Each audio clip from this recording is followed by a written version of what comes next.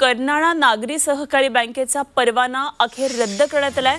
आरबीआयकडून कर्नाळा बँकेचा हा परवाना रद्द केलाय. पंच्याण्णव टक्के गुंतवणूकदारांना पूर्ण पैसे परत मिळतील असंही सांगण्यात आलंय.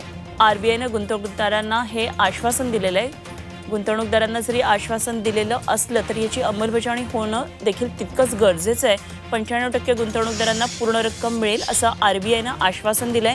कर्नाळा बँकेचा कर्नाळा नागरी सहकारी बँकचा हा परवाना आरबीआयनं रद्द केलेला आहे. त्यामुळे निश्चितच खातेधारकांचे आता धाबे दणाणलेत. मात्र आरबीआयनं एक दिलासा दिलेला आहे. पंच्याण्णव टक्के गुंतवणूकदारांना पूर्ण पैसे परत मिळणार असल्याचं सांगितलंय.